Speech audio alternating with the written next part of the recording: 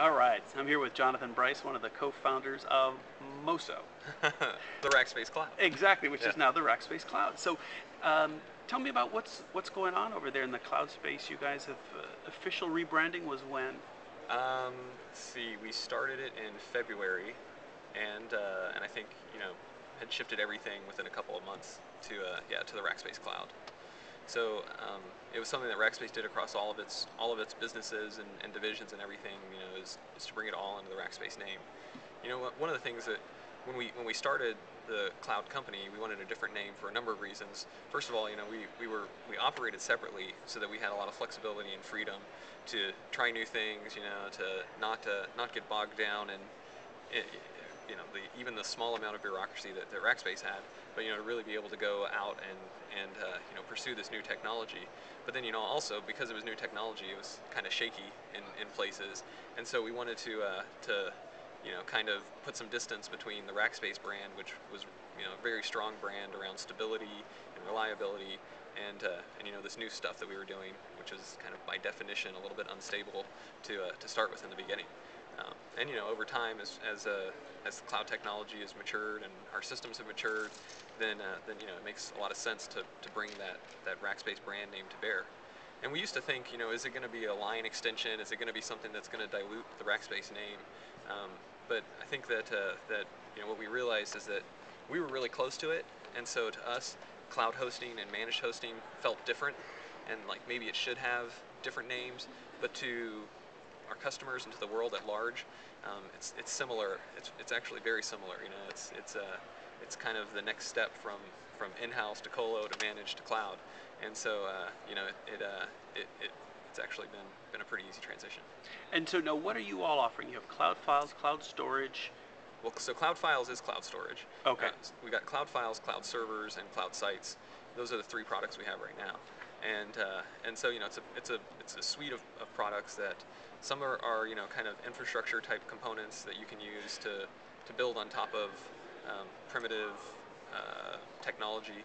And then you know Cloud Sites is a platform as a service that has a LAMP stack and a .NET stack inside of it.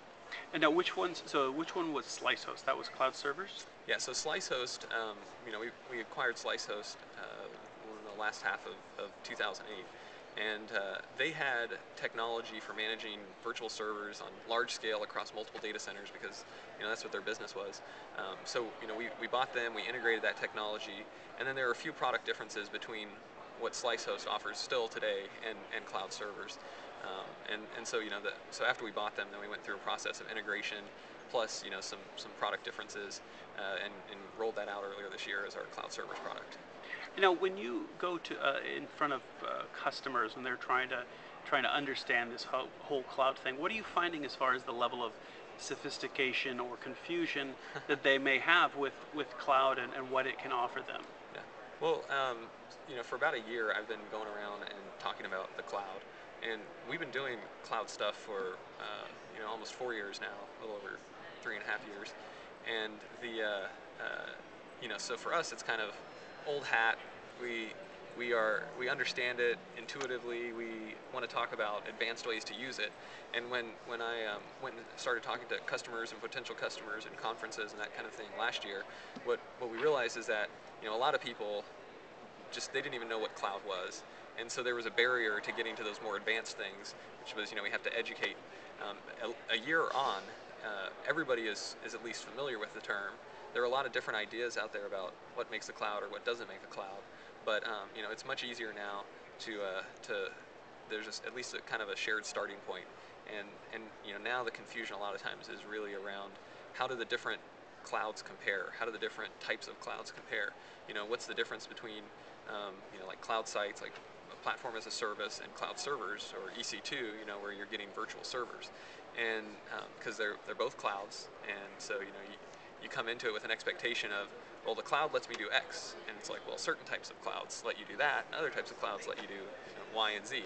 Uh, so that's kind of where I think it is in terms of the education now. People understand that the cloud is about scalability, instant access, um, you know, pricing that's that's more aligned with usage than than you know minimums, and uh, and so now it's a matter of, of understanding the right the right fit for um, you know their use case between the different options in the cloud.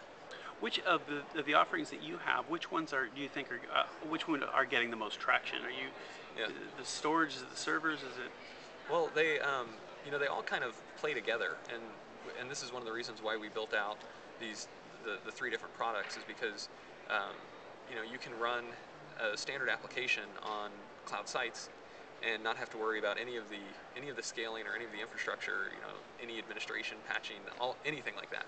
But then when you know you have a need that maybe doesn't fall into it's in the LAMP stack or something like that, you know, what do you do? Well, you know, you can go spin up a cloud server and you can do whatever it is that you need root for, that you need um, to run this custom software package on. Uh, when you know you maybe have something where you want to have a lot of user-generated content that you want to store, you don't want to put that on expensive primary storage like what cloud sites or cloud servers uses, and so you you know you offload that to cloud files where it's a lot cheaper, and and you know those use cases really fit together. We're actually talking here at, at Cloud World with a with a customer of ours.